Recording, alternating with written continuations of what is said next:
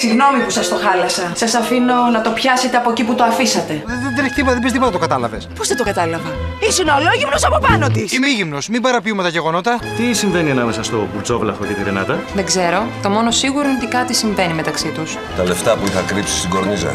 Κάνα φτερά. Τώρα μου τα κλέψανε. Τα δανείστηκε κάποιος που ήταν ταπί και ζορισμένος. Με υποπτεύεσαι. Έλα στη θέση μου. Τετάρτη στις 9 και 4 το βράδυ. Θα κάνουμε μπανάνα!